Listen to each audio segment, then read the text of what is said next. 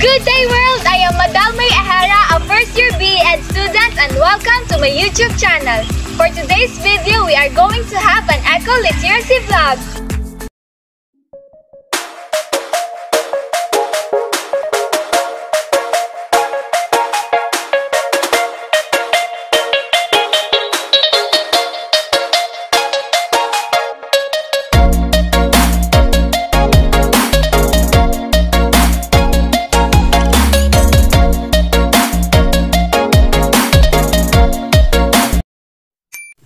I am going to apply what I have learned in the course Building and Enhancing New Literacies Across Curriculum.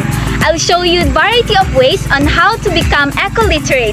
But first, let us tackle and understand what is eco-literacy, why is it necessary for 21st century learners to be eco-literate, and how does eco-literacy affect us and the world as a whole. For us to find out, let's get it on!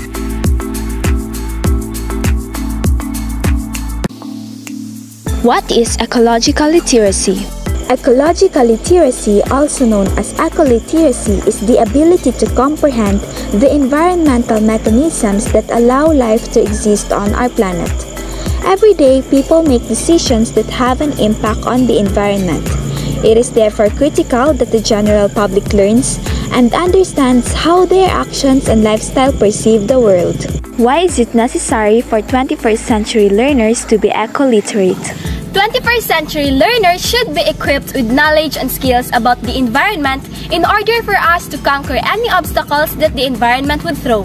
Eco-literacy is a must for it benefits the students by meeting the 21st century needs. How does ecological literacy affect us and the world as a whole?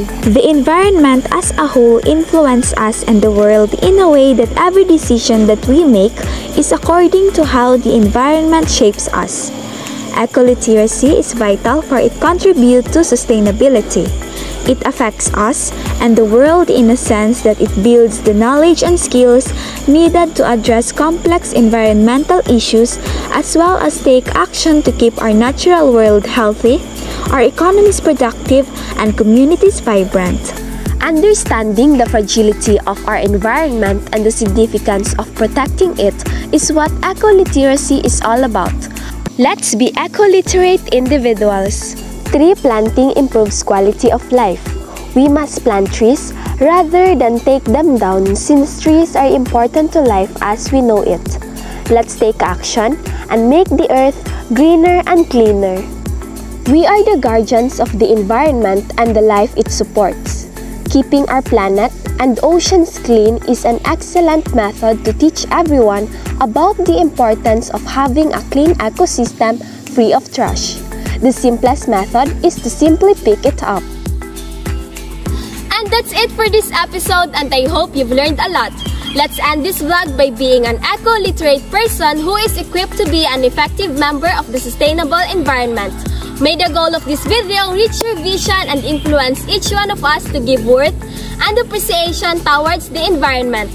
Let's make a difference by embracing the value of the environment for the upcoming generation. Bye!